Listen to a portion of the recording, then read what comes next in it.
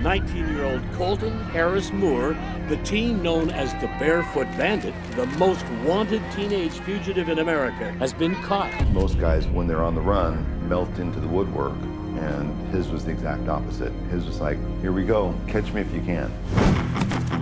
Colton Harris Moore escaped from a group home in Renton last night. Harris Moore was just 15 when he was arrested for breaking into homes, stealing valuables, and using computers to place fraudulent online orders. Went throughout the store with crowbars. Disabled 8 out of 14 cameras. I don't know exactly what he used on the ATM. He got almost $10,000. Colton Harris Moore is suspected of stealing as many as two airplanes. Airplanes. Colton Harris Moore may have taught himself how to fly. SWAT teams fan out across Granite Falls today in search of a suspect considered armed and dangerous. And yet not a trace of the burglary suspect had been found. We're well beyond the Robin Hood stage. We're into the John Dillinger stage.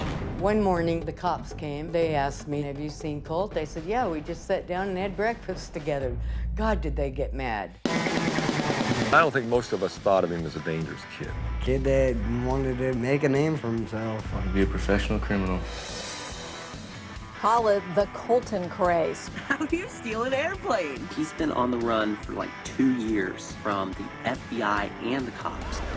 Well, who is this kid? He kind of is self-taught in everything. He learned how to steal. He did pretty well at it.